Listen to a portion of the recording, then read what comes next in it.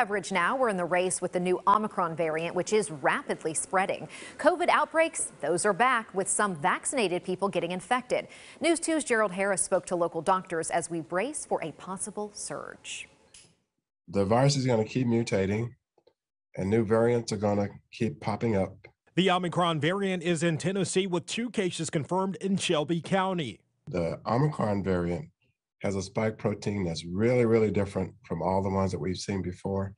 And it looks like those changes in that protein make it more likely to cause infection, but more importantly, makes it less likely that the antibodies that the vaccines generate are going to bind to it.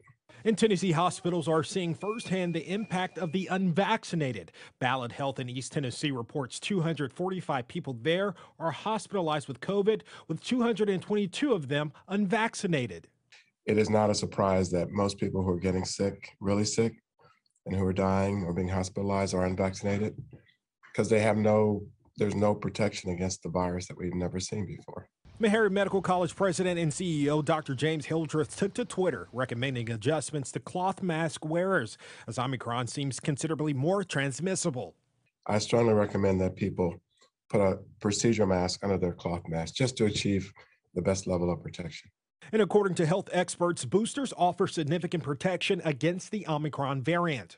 The first thing and single most important thing is to go get a vaccine if you don't have one and do the whole series. Get the first shot, the second shot, wait um, six months or the recommended time and get a booster. In Nashville, I'm Gerald Harris. Now, doctors say it's still early, but they do believe the Omicron variant could spread more easily. But that doesn't mean it would make people, make people sicker than the other variants we've seen before.